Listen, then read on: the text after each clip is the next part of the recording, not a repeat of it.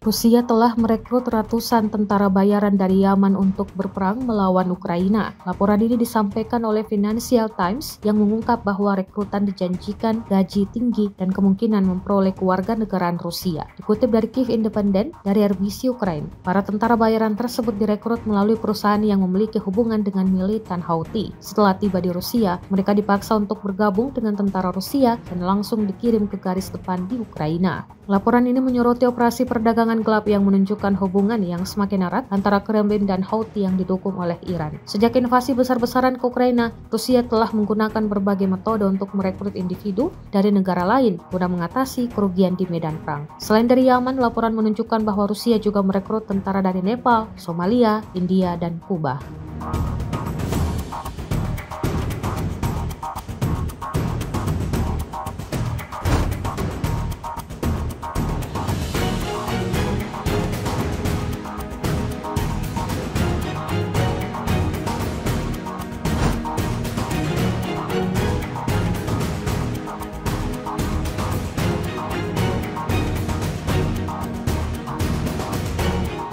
Download Tribun X sekarang.